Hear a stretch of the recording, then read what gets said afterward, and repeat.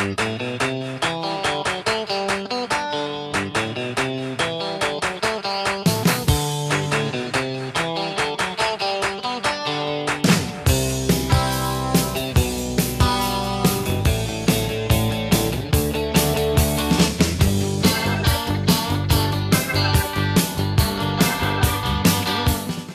I'm John Messina, host of Hey Coach and the athletic director at St. Lucie West Centennial High School. Today we have a very special edition. It's our monthly trying to get our ratings up a little bit, and I'm bringing in two young men that are an absolute credit to St. Lucie County student athletes, and one of our coaches, Coach Parker from Centennial. First of all, we have Jamar Chaney, who's a graduate of Centennial High School, went to Mississippi State, and played for many NFL teams. Welcome, Jamar. Thank you for having me. Okay. Jerry, Jerry Johnson, former Fort Pierce Central player, former FSU player, and also played with the Denver Broncos. Thank And one of our much better officials around in this area. I want, I want to throw that in. But uh, I'm going to go a little bit backwards. I'm going to do our ending right now and thanking you guys for being you. You're really a great role models to this county. You're a great role model for our student athletes. And there's not enough of you guys to go around. But I really want, from the bottom of my heart, I want to thank you for being you guys. It's terrific. Okay, we're going to start with you, Jamar, 1st Can you tell me a little bit about your background?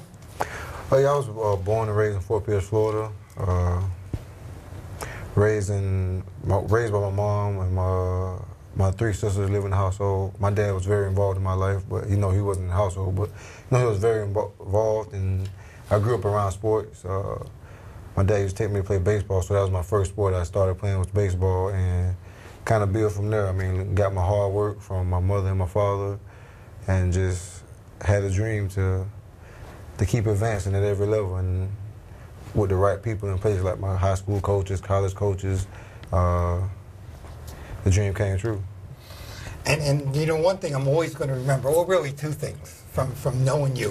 Um, I think it was three years ago when you were starting for the Eagles and you had the bye week and we were playing for the district championship against Vero Beach. And Ron, you remember this? All of a sudden we look on the sidelines and there's Jamar rooting us on. Mm-hmm. Came back on our bye week. And then last year when you were helping us coach the JV, Mm-hmm. you coached with us on a Tuesday. You get a phone call from Oakland on a Wednesday. Mm-hmm. And Sunday you're playing in front of 75,000 people. it was a little crazy week, but I, I know the student athletes at Cent- Centennial think the world of you, and I really thank you for all you do for us. Oh yeah, I mean it's it's a blessing to be able to go out there and you know help those young men out and try to help them achieve some of the goals they have. Jerry, a little bit about your background. Uh, I was born and raised in Fort Pierce. Um, I was raised by my mom and dad, which were from Alabama. I'm the youngest of two boys, and um, I didn't start playing football until my freshman year of high school. And um, once I started playing football, Coach Lombardo started talking about college, which I I never even thought about college until I start started playing football at Central, and then. Um, and that's about it. Then I went out to Florida State. Um, played five years at Florida State and uh, got drafted to the Broncos in 2000 and played a few seasons there. And now I'm back in St. Lucie County. That's great. Ron, you were fortunate enough to coach these young men. When did you know, or you had an inkling, that these young men were going to make it to the NFL? Well, people use the term great too too much too often. There's you know very good players, great players. These two gentlemen happen to be very, I would say, great high school players, and above that, great people. Um, neither one of them. I've been coaching 29 years. I've had four kids play four years of varsity football. These two gentlemen did, but they had a dream. I remember Jamar came up. We moved him up and said, "I want to play in the. I'm going to play in the NFL." And I, I said, "Well, then you go for it, Dad." And Jerry, first year playing football, you could tell how powerful he was. He was uh, also very studious, started to learn, asking questions. So, you know, I wouldn't say NFL, but I would just say, hey, they got it. They're grounded. They're in the right direction. They're going to do well. And then you must have had a special feeling when you saw them on TV in the NFL. I know I was fortunate enough to, to coach a few baseball players that made it to the pros. Alex Fernandez, who pitched for the Marlins and for the White Sox. And I remember flying up to his first game, and, and there was just a, well, a sense of pride that you, you just you can't explain. That you had a little part in these young men's lives and you led them in the right direction. You, you, did you feel like that? Oh, yeah, super. I mean, so proud of them. I, I tell them that still today, and you know, enjoying having them around. But uh, you know, such good role models. You know, Jamar and I talk about it because he's a little younger. He's been in the NFL a little bit longer, and we talk about you know NFL not for long. So education is so important, and trying to direct these young kids because you know they need some direction. Not all, not all of them can play in the NFL. But there's nothing wrong with having a goal saying, hey, well, prove me wrong if I say you can't do it. Go for that dream. You know, Yes, sir. don't, don't let anybody ever tell you You can't. can't do it. Okay, That's because you can prove them wrong. Um, just a few little topics we're going to talk about, and, and the first thing I want to talk about with you young men is you're recruiting for college. Jamar, what was that like? What were the different colleges that were going after you? I know you went to Mississippi State, but tell me about the recruiting process. Uh, the recruiting process, I mean, it's a, it's a, it was a little different for me because, I mean, nowadays, I mean, pretty much all the kids probably know about all the colleges. When I was, uh, I didn't know about all the colleges. I pretty much know about, you know, the big three, you know, Florida, Florida State, Miami, and probably like Southern Cal.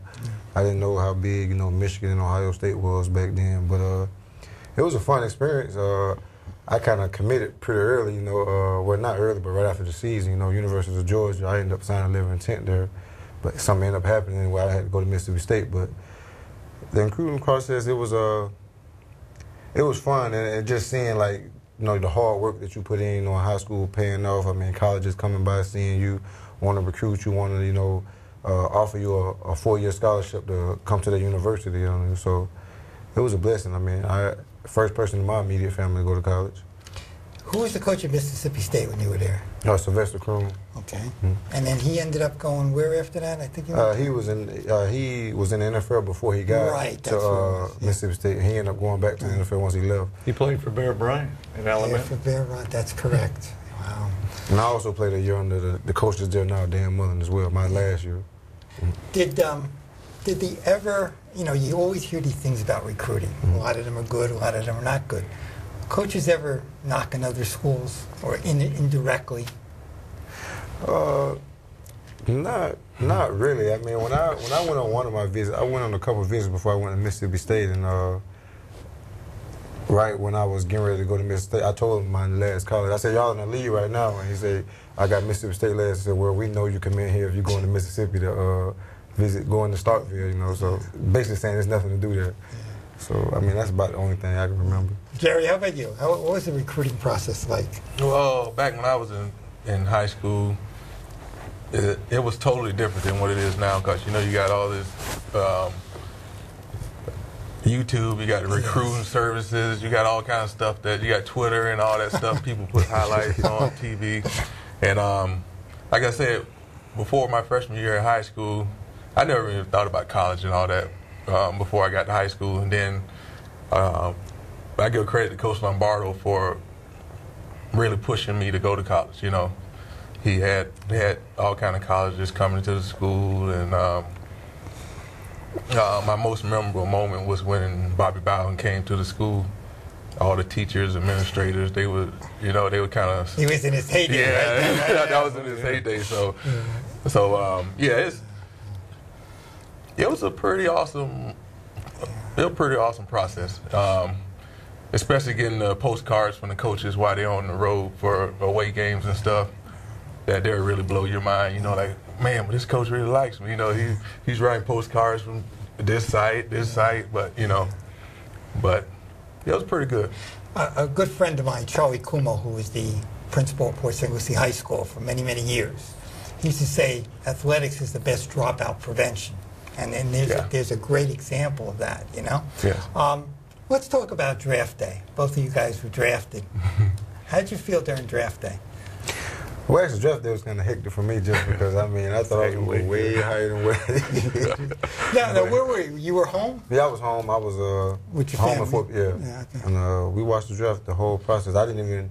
It was three days to the draft. Uh, when I came out, I mean, I, it probably was one was day, two days. Two days, you know, Yeah. when you came out. So I, mean, I watched the first day, watched the second day. I didn't even watch the uh, third day. I just waited on the phone call. I mean, were people calling you up, Jamar? What's going on? You know? Yeah, I mean, they was calling and they they act like they're gonna they get ready to pick you, and then it don't happen. Or the, the night before, they be like, make sure we got the right number. We're thinking about taking you in this round, or, you know. So they get your hopes up, and then that process starts rolling. And if you not one of the, if you if you have a, a place where you think you're finna go, and then it doesn't happen, and you kind of not panic, but I mean, it's kind of a you know you expect to go here and you don't, and it's kind of a disappointment, but. I mean, it all worked out. And you went in the seventh round. Yeah. Seventh round with the Eagles. Mhm. Two years later, you're starting. Yeah. Okay, so somebody had a right, Oh, yeah. right decision on that. But I mean, you look at it now. I was, you know, I was watching the combines the other day. I never thought I'd sit there and watch the combines. And you look at every little thing. Mm, yeah. But you, but you know something? and Maybe I should have mentioned this before. When we had Jannard Boswick two years ago, Ron and I, I mean, they were coming in. You know, Bob Stoops is coming in this way, Nick Saban's coming in this way, the guy from Michigan State. There was a day Ron and I are moving everybody Yeah, around. Mm-hmm. Never once did they ask me about his athletic ability. Mm-hmm. Never once. Is he a good kid? How's his grade? Yeah. Because, like you guys said, everything's on TV right now, mm-hmm. on Twitter, on, on all these other things, on YouTube. You know, they're on all these different things. They know the athletic ability. Mm-hmm. Is he a good kid? Yeah. Is he going to class? Going back to recruiting, it was it's kind of ironic when Jerry was at Central. Bobby came in in '93, comes in the weight room. Hey, Ron, what you doing? I'm just going to get a good workout. He came back in '94 to get you, and I remember you played a, played a trick on Coach Rick because he recruited you at Georgia. He was the head Coach Rick. Yeah. Yeah. Okay, and it was you know, and Coach Rick was at our school recruiting you, and you know, it's kind of ironic, but they both were recruited by the same gentleman. You know, it's pretty neat. Well, I, I remember when Nick Saban came to our office, came down Oh, to yeah. your office, and we're sitting there. Assistant coach Bobby Williams, who was with the Dolphins with Nick Saban, Jannard's sitting there. Next thing I know, Bobby and I are just watching, and Ron and Nick Saban are moving pencils and pens around and doing different oh, know, things. And Jannard's just sitting there, like, you know, and, and you guys would have went on for now. I had to go to a girls' soccer game up in Titusville, but I would have been there. I was just mesmerized. It was a good. It was a good session. Good man. Mm-hmm. He's a real good man. But Jerry was different back then. How many rounds did you have? I mean, It it was was, it was two rounds, and like Jamar said, it's two days. And Yes. yeah. I mean, it was two days yeah. of um, of the draft, Yeah. and like he said, I was expecting to go higher than what I went. So after I think it was round one, two, one, two, and three the first day, and um, I expected to go like late first, second round, and I didn't go the first day. So you know, I was I was panicked. I'm not gonna lie, I was panicked. I'm like, man, what's going on? You know. And then the next day, that Sunday, I woke up and the draft had just started. It wasn't. It wasn't 30 minutes. I got a call from Mike Shanahan from um, Denver. Said he was gonna draft me. I was like, I was like, you know, I was, I was like, I was like, at least somebody uh, drafted me, you know. But um, it's real stressful, especially when you expect to go higher and you don't go where you where you expect to go. I can tell you that much. And, and you think of those guys that they invite to New York, the first round. oh and they're I sitting can there. imagine sitting there. And, and, you know, and, the, and the camera's on them, and Yeah. they're sitting there Yeah. sweating. And Yeah. all right, next day, yeah. I feel bad for them. It's a, you know, put a lot you of think pressure that on. Yeah, a lot of Johnny pressure. Manziel that one day. Yeah, he was- he was sweating, He was yeah. sweating, and, and So Rodgers, Right, quarterback Aaron, for the Aaron Packers. Rodgers. Well, that turned out to be pretty good for Green Bay. Yeah. I mean, it might not have been that good for Cleveland so far, but I think Green Bay really lucked out on that. Okay, um, person or person who had an effect on your career. Somebody had an effect on your career, a very positive way. Uh, I mean, I have a lot of people. I mean, it's just not one person. Uh, like my mom, just and my dad. Like just, seeing how hard they work. You know, uh, my coaches as well. You know, back then, you know, Coach O'Neal and uh, Coach Parker, they did a lot. You know, I mean, you could do a lot back then. You know, making sure we got the workouts, making sure we was, you know, you know, eating, putting on the weight that we needed to put on, so the colleges would, you know, see what they wanted to see. Uh, and when I got to college, you know, Sylvester Croom, a great man, a great leader, you know, a man that, that you know, pushes, you know, being a man of character and integrity. So I have a lot of people, you know, to, uh, to thank, you know, on that on that long journey I have to where I'm at now. What's the difference between a college coach and a pro coach? A college coaching approach. Uh, Hmm. I mean, I just came from a coaching uh, uh, coaching clinic, uh, but they said the main thing between the college coaches and the NFL coach is probably a college coach is uh, probably twenty percent football. Like he, but NFL is probably like sixty percent football. You have a lot more responsibilities as a uh, college head coach. You know, with marketing and recruiting Yeah. and you know all that. In NFL, you got people to do pretty much all that right. for you. It's a good point. Yeah. Jerry, somebody had a profound effect on your career. Well, in, in high school, like I said, I, I would say Coach Lombardo because I I never even thought about going to college. So he, when when I started playing football and and he was he was hard nosed. Him, Coach Parker, Coach um, Coach Bretherwick. Oh man, them three there. and um, so he really pushed me. You know, he used to come through the weight room. You know, screaming and yelling. You know, get that rep. Come on, you can get. You know, really really pushing me. And then once I got to college, um, I would say Coach Amato was my first position coach when I got to Florida State. And he was he was hard nosed too, Yeah. so he, he he really pushed me. And then uh, Odell Haggins took over my second year, and um, he pretty much took me on his wings. You know, he used to invite us over to to his house. He used to barbecue for us on the weekend sometimes. So I would say them them three there really had an impact. A impact. lot of on tough me. love, right? Oh, yeah. A lot of tough Yeah. love. And I, and I and I tell that to other, and I hope you guys they would understand that when you went to college, you were ready. You were prepared as a freshman Oh, yeah. from what we did at the high mm-hmm. school Yeah. level. And I don't care if it's like Jeremy Little at, at Norwich Division three. You guys walked in, and I think you guys were prepared for college football for mm-hmm. what we did at the high school level. You know, at Central and Centennial. I think I want to say pat ourselves on the back, but we got you ready because every kid that comes by says, "Coach, you got us ready for the next step." You know, and that's that's it makes makes us feel good as coaches. Let's go down memory lane a little bit. Most memorable high school game. I mean, my most memorable high school game, probably not a good one. I, mean, I think about it a lot, but uh, it was my junior year.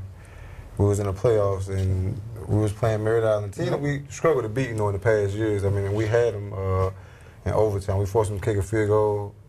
All we have to do is score a touchdown from the 10-yard line. We got the best running game, the offensive line, and I don't know, probably in the state. And we threw a pass the first play, and they kicked Double reverse option pass. a halfback pass the first play, and it was intercepted, and the game was over. You know, like I that. knew you were going to say that. I remember sitting in the stands. There and I was good. Now I'm thinking we're going to play Booker T Mm. next week because they had one already. They played in the afternoon. My wheels are turning. We're going to Oh, yeah. move the game to Lawnwood. We're going to have 10,000 people. We hold them. First of all, we tied them at the end of the game. Mm. And like you said, we had the best running attack around. Yeah. So when we hold him to a field goal, I'm looking at him up in the booth, and he's ecstatic because we had Fabricio kicking, who was phenomenal, right? So the worst thing we're going to come out of is a tie. So I figured we run three times, we're going to make it. If we don't make it, we kick it and we go double overtime. We got the crowd. All of a sudden, the famous call, and then in the stands you heard nothing. Everybody got their chairs and walked out. Like, is it over now? Is it over? I mean, I just- and, but what a cr- and that quarterback from Merritt Island was big time, right? He Yeah, he, went to, he played safety at South South Florida. We, yeah. Yeah, we pretty was much we had a good scheme against. That, that was we did- great. I mean, did that well. was. I'm thinking, Booker T's coming up. I'm going to make this amount of money. The place. oh, we would have packed. That would have been the Yeah, we would've. Friday after Thanksgiving, and we were one game going away from state. Mm-hmm. That would have been Because we great. would have played Armwood in the game after that. they after won that, state for they two won years in a state. row. They But were- we, we could have played with anybody that mm-hmm. year. Yeah. Jerry, Well, I could say three playoff games that we lost, but I'm not. Gonna, I'm not gonna say those, those, those three playoff games. I think the most memorable game was uh, when we played Glade Central, down there. and they yeah in, in Belle Glades, and um, and they had Fred Taylor, Reidel Anthony. Wow. I think they signed eight D1 Johnny, pro- Johnny Rutledge. Jolly New- Rutledge, all them Kirk. guys, New Kirk. Seidel was a quarterback. Yeah, they signed eight D1 guys that year, and we went down there and went neck to neck with them that first half, and then that second half. That's Fred Taylor's show, but Yeah, you know, but- to your credit, I mean, to you guys on the offense. You really Oh yeah, we I were mean, going you back moved them all. back and was- forth with them. They scored, we scored. to They scored. 38. Yeah. And when Johnny Rutledge said that best running back I ever played against was Alvin Swope. Yeah, And he yeah. was on Fred Taylor's team. Mm-hmm. Now, do you see what they both mentioned? Losses, which shows you it's the game. Yes. It's the game. It's not about. It is about winning and losing, but your memories are boy. What an effort! Both of those games. Oh, yeah. Okay, because I know, I know, oh, I, yeah. I led with you that one game, and Ron has told me many, many times about that other game. Jerry and I went through three years of, Yeah. I Yeah. mean, like I said, we were one game from the state Yeah. championship in 92. Yeah. One game. away. You know, and we had some injuries, and you got to have some luck. You got to make your luck, but you also mm-hmm. got to have some. Now, how about college? Most memorable college game? Uh, let me see. There's probably a couple of them in college. I mean, my sophomore year when we uh we went to Alabama and beat Alabama in Tuscaloosa. Wow. Uh, That's, that's a big one, and pretty much all of the all of the Egg Bowls, which is Ole Miss and Mississippi Right. State. You know, when we played them, and most most of the time we beat them. They was a, pretty much a better team, than us, but they had a better record than Right. us. Paula was ranked, and we ended up pulling out the upset in those games. So I think those games are the ones that stand out, especially in 2007. I mean, we had a lot of upsets. We upset Auburn in, in their home. Uh, Alabama came to us that year. Uh, we beat them in our home. So, Wow.